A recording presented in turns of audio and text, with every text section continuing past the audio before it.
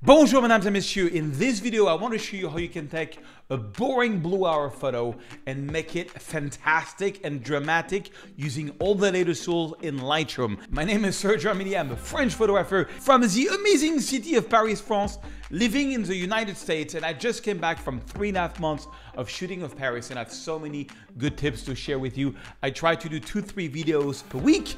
Anyway, let's get this party started.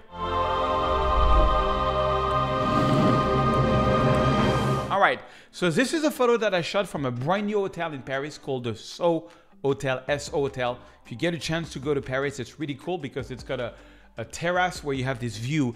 And I went to shoot it at the blue hour and I was kind of like disappointed and I want to show you how we can make it really cool. So I'm going to apply something called the natural drama formula, which is covered in this book here, which you can get for free. You can get a physical copy of the book by just paying shipping and handling. The link is under this video and you can even get two weeks of me coaching you on your photo. Every info is in the link under the video. So what's this, what's this natural drama formula? And let me show you how this works. The first thing I'm going to do is I'm going to open a shadow to see what's going on. And uh, let me see if it's sharp. I shot this with a Sony 7R5, I believe. I shot this at, uh, yeah, 2470. I shot this, oh yeah, I had to shoot it by hand because it, where that's the only problem with that hotel. They don't, they don't want any tripod. I have a bit of glass here. I have like uh, the Notre Dame being renovated here. Not great. So the first thing I'm going to do, because I shot this at 800 ISO, you know what? I'm going to right click on this photo and I'm going to go to Enhance and Enhance is a new feature that came up a few weeks ago where they have this denoise feature and it's absolutely incredible because it does it on the raw level and it does a really, really good job. Yeah, uh, look at that. It takes all the noise out.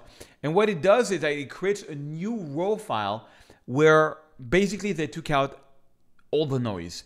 And because this was shot with the Sony at 800 ISO, because it's a bit of underexposed photo, I had no choice. You know, I had to be at 2.8, I had to be at 140th of a second at 800 ISO to get a blue hour by hand. But we're still gonna make it dramatic. So if you shoot by hand, just try to open your aperture as much as possible. Make sure, make sure that you have self timer on, so you're not touching your camera. You know, you have like you're at 130, 140 seconds, so it's slow but not too slow.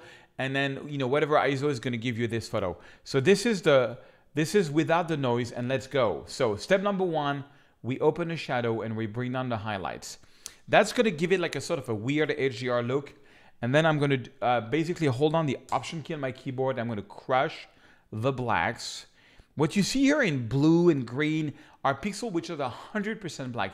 I do like to have blacks in my photo because when you have blacks, it just gives a good contrast. Right now it still looks bad, but as soon as I open the white, it's going to look a little more interesting. And now the exposure is kind of better. You see, if I if you press the backslash you can see the before and after. I can kind of see what's going on. So this photo, I'm definitely going to crop a lot. I think I want to go 16 by 9. There's a lot of sky. The sky is not that great. So I'm going to go and basically crop this photo. I kind of like that street here. But you, you see, one thing you have to be very careful when you crop a photo is you don't want anything to be half in and half out. Like for example, you want to have something like this where this street, which is kind of nice, is half in and half out. So I want to have the full street there. I want to get much closer to the, to, I like that bridge here. It's very nice. Uh, I like that bridge here. I like that street there. I think I'm going to crop it that way. And then we'll do some magic in Photoshop to get rid of uh, what needs to get rid of. Okay. The next thing I'm going to do is maybe add some contrast and lower a little bit. Oh, no, maybe not. It's just the sky is way too bright. So, and the white balance is off. So step number one is the exposure, which is what we did. Step number two for this book, and you should really read the book. It's got lots of other examples, including like dramatic black and white and Saladam style. It's really cool. So what I'm going to do on this one is I'm just going to add, let's see here. The photo is very blue. There's a lot of blue. So I think I'm going to, one thing you should know about the white balance is that the difference between as shot, as shot is what Sony, I had this on AWB, automatic white balance. So as shot is basically the white balance decided by Sony. Auto is going to be the white balance decided by Adobe Lightroom. The engineers don't always agree. I kind of like, uh, I actually kind of like what Adobe does on this one, but I'm just going to add a little bit more yellow and a little bit more magenta. Yeah, that's going to make the photo more. Uh, you know, we really want drama here, like real drama. Okay, next, I think what I'm gonna do on this one, I think I want to crop it even more. I mean, I got 60 million pixels to work with. I think I want to focus a lot more on the Eiffel Tower. I'm to put the Eiffel Tower on the rule of third. Yeah, something like this, like so really more in Paris. Yeah, I like that more. So step number three is refining colors. So what can we do to refine colors? Well, not very much, but it's it's a three-step process. You got the hue, you got the saturation, you got the luminance. So hue, what is hue? Hue is the kind of color. Uh, if you change the hue, you change the color. Like you go from green to blue. That's changing the hue. So how does it work? Well, you take that little tool here, and let's take this very magenta. If I go up, it becomes kind of greenish. If I go down, becomes kind of red. Uh, maybe I'm to put it a slightly more red. Okay. And then let's see here, this sort of gray here, what happens? Maybe I'm going to put it a little more red.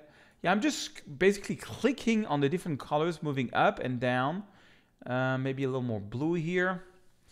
Yeah, not you won't see a huge difference. Like, look at this. It just look at the skies. The sky is slightly more pink, which I kind of like. And then saturation. Now, saturation, I have no mercy for saturation.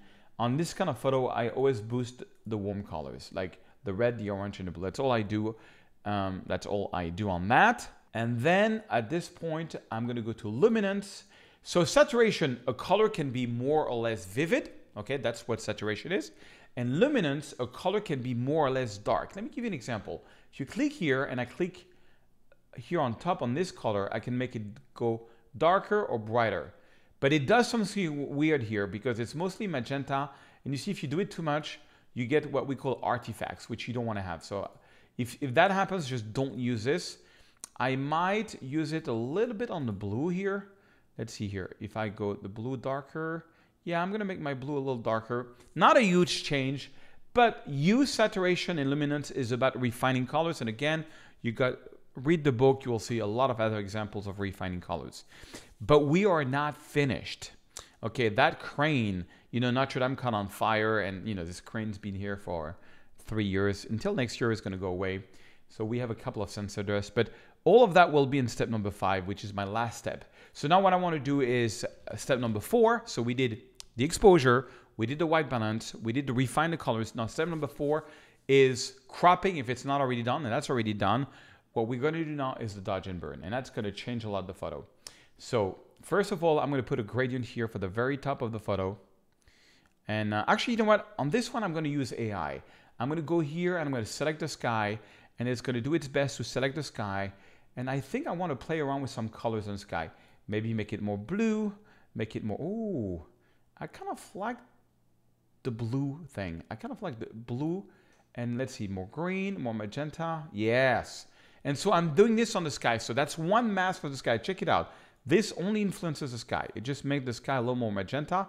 And now that I've done that, and that uses AI, I'm going to go here and I'm going to go linear gradient.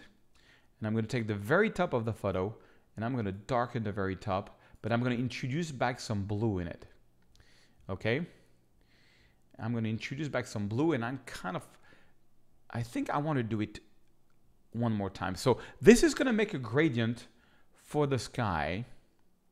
And I think I want to do one more for the very top of, sometimes I do three gradient and that's called dodge and burning. Dodge and burning comes from the good old times where basically you had light that was projected, so the negative was projected uh, through a lens onto a positive paper. And the more you would project the light through the negative onto a positive paper, the more you would burn the paper.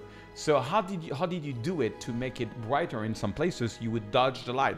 You would take like a spoon, for example, and put it over the moon, and the moon would be brighter because it would dodge the light. It would prevent the light from touching the paper, therefore making it brighter because it was not burning at that spot. So that's, but basically it makes making things darker or brighter. Check it out. Without all this mask, look at the sky. It's totally different. The sky is more red, more blue, darker. I think on this one, I want to add a little bit of, uh, I'm going to take a brush on this one and I'm going to do some dodging. Dodging means making it brighter. So I'm going to take a big brush and on this one, I'm going to do two things. I'm going to add a bit of exposure and I'm going to add a little bit of minus clarity. The minus clarity is going to make the, the highlights kind of glow. And that's kind of what I want. I want to make the city glow. This is Paris. This is a city of light. This is a city that never sleeps. Now, it's New York, but Paris also doesn't sleep much. And it doesn't seem like much, but look at the before and after. It just makes the whole city glow. Maybe let's make this one glow a little bit. And sometimes what I like to do is I like to do another one. So I do another brush on top of the brush. And uh, same thing here. Add a bit of minus clarity, a little bit of exposure, and boom. Okay. And then on, on the local adjustment, I find that the bottom of the photo is a little too blue. Um, I like to do things. Uh, so what I like to do also is you can take a big brush and we're gonna, we're gonna use a new feature that just came out where I'm basically gonna select, let me see, on this brush, I'm actually gonna put the flow intensity all the way to 100. Oh, uh, yeah. And then I'm just gonna brush the bottom part of the photo like this. And, uh, and now I'm going to go on this new feature, which is the brush, uh, the curve here. So check this out. On the curve, so if I click and drag, it's going to make the bottom, okay, it's going to make slightly darker. And then I click here and I'm adding contrast only at the bottom of the photo, which I kind of like. But then I can go into the red here. And if I go up, it makes the bottom more red or less red. I think maybe slightly more red, but that's not really what I want. Let's go to the green. And then it adds more green. And this adds more magenta. I think, because the sky is very magenta, so I think I'm going to add a little more green to just make a contrast with the sky even more. And then the blue, let's see what the blue is going to give me.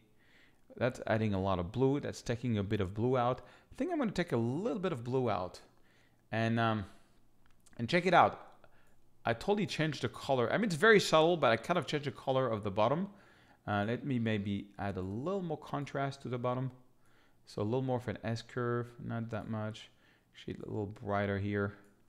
You know, it's uh, this mask is only for the bottom. It just makes the city glow a little more. Okay, and um, I want to try something here on, on, on the dodge and burn. I want to see, like my eyes goes here a lot because it's very bright. I think I want to add a force, uh, a force mask here and maybe add a bit of blue just to, yeah, just to add, yes, that really makes a difference. And you know what? Let's not be jealous. Let's do the other corner. Because when you have a lot of brightness on top, it just attracts the eyes. And I'm going to add a bit of blue there. Yes, so that really vignettes the photo. I want people to really go on the Seine River and go to Notre Dame and things like this. Now, because this photo was a little, you know, not it's not blurry, it's 2.8. I'm going to add a bit of texture and a little bit of clarity, which I usually don't do, but on this one I'm going to do just to make it pop a little bit.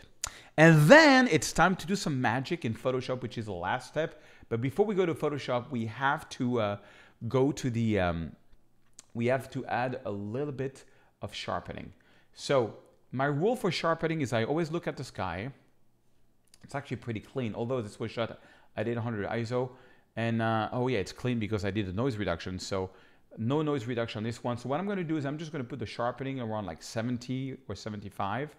And then I'm going to put the masking around 70 also. I'll show you why. Because if you use the masking option, you can see here, uh, what you see here in black is not going to get sharpened. So by putting the sharpening like around 80 or 90, and putting a good mask, you only have sharpening around what is not uh, being, uh, you know, just on the edges and not on the sky. Then what I'm going to do is I'm going to, yeah, there was a sunset there. Okay, I took care of that. Then I'm ready to go into Photoshop Beta. So how does it work? You have to make sure that Photoshop Beta is in memory. You have to launch it first.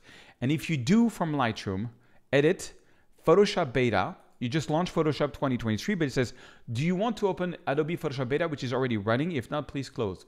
So boom, I'm gonna click on that. And what that's gonna do, it's gonna, oh, by the way, guys, before I, I go and do into Photoshop, please leave me a comment.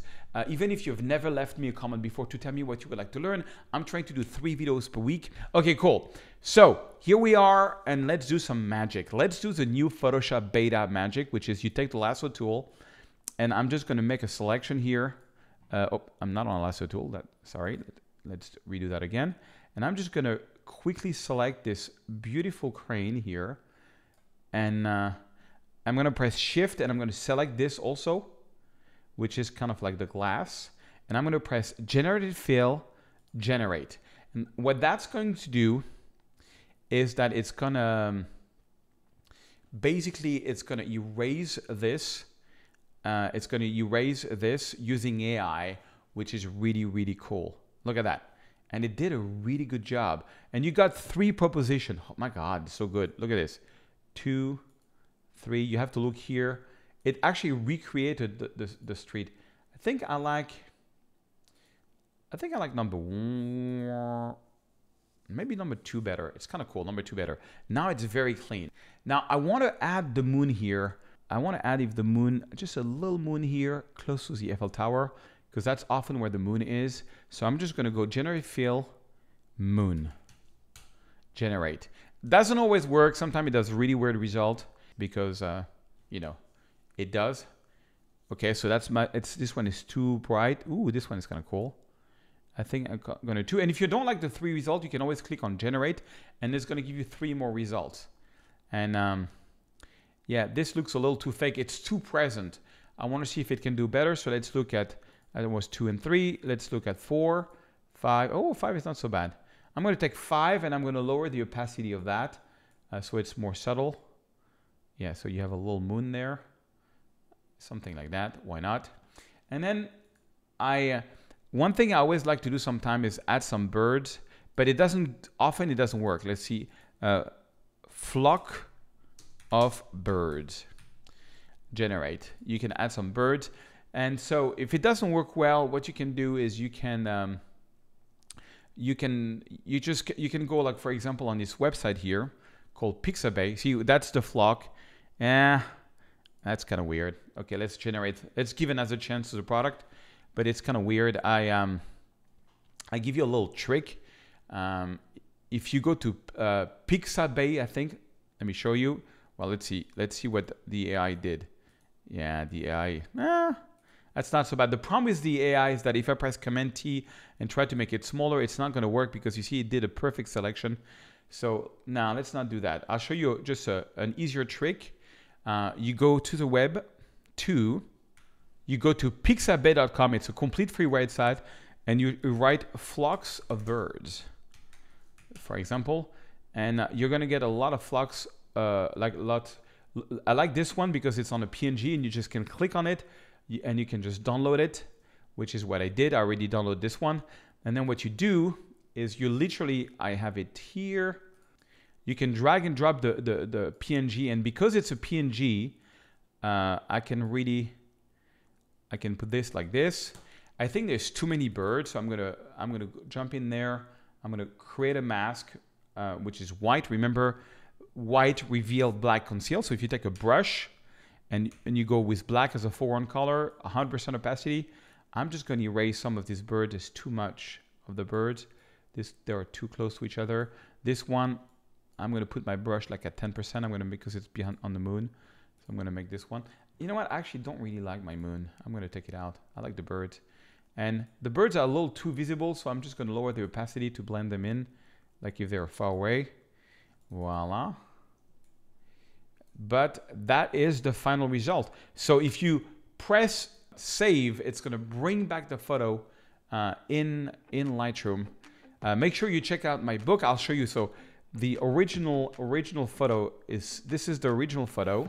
So we went from this to this. Yeah, pretty cool. I mean, I'm not sure I'm gonna keep the birds, but you get the concept. Try to use this tool to make your photography much better. Read my book, there's like a lot more examples, and I'd love to see you on some coaching session. I'd love to see you work. All the information is under this video. I will see you in another video very soon. I'm trying to do three videos a week, so make sure you subscribe so you see the next one. I hope this one gives you value.